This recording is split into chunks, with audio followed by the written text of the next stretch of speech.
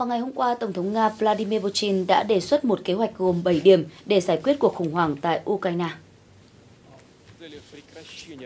Kế hoạch 7 điểm được ông Putin phát thảo trên đường công du tới Mông Cổ, trong đó ông nhấn mạnh nhằm chấm dứt đổ máu và ổn định tại tình hình miền đông nam Ukraine, các bên xung đột phải thống nhất và phối hợp hành động để thực hiện 7 bước với bước đầu tiên là ngừng các chiến dịch tấn công tích cực của các lực lượng vũ trang, các nhóm vũ trang của dân quân đông nam Ukraine ở các hướng Donetsk và Lugansk.